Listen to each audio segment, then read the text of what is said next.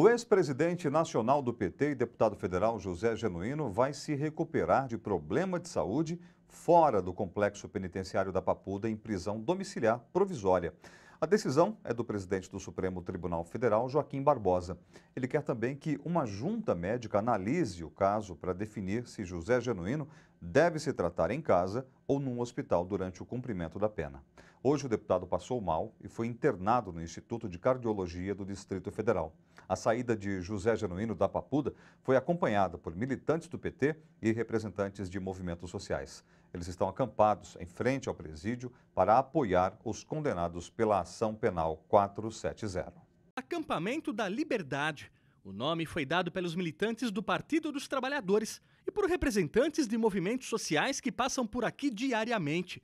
O local fica na calçada em frente à entrada do complexo penitenciário da Papuda, para onde foram transferidos José Dirceu, Delúbio Soares e José Genuíno. Pedro foi o primeiro a chegar está aqui desde sábado passado.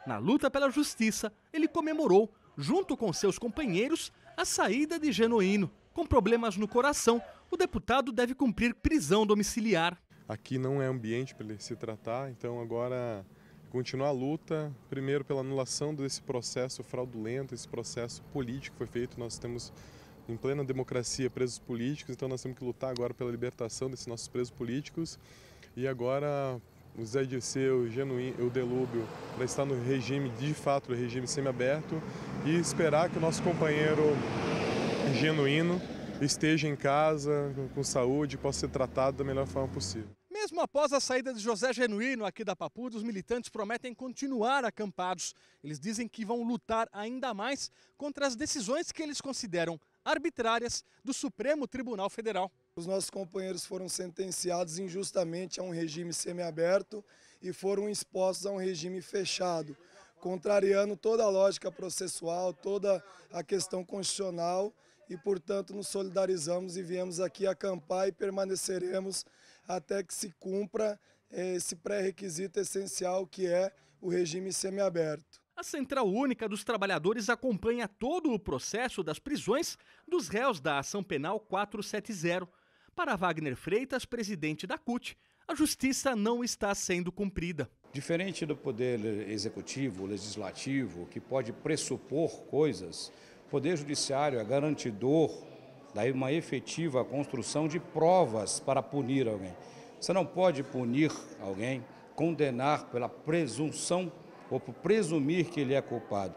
Isso causa uma instabilidade jurídica no país gravíssima. A criminalização que os movimentos sociais têm sofrido no Brasil intensificou-se muito depois da construção absolutamente é, não explicável da teoria do domínio de fato pelo Supremo, que criou a possibilidade de condenar sem provas. E condena sem provas é de seu, o genuíno, condena sem prova o João Paulo Cunha e o Delúbio, mas condena sem prova e criminaliza todo o movimento social e sindical do Brasil. O deputado José Genuíno continua no Instituto de Cardiologia do Distrito Federal. Neste momento, ele está na UTI consciente e recebendo soro. A família acompanha os procedimentos. Mais cedo, o deputado José Guimarães, do PT do Ceará, irmão de Genuíno, esteve no hospital.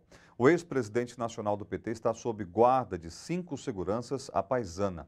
Até o momento, não foi emitido nenhum boletim médico oficial sobre a saúde de José Genuíno.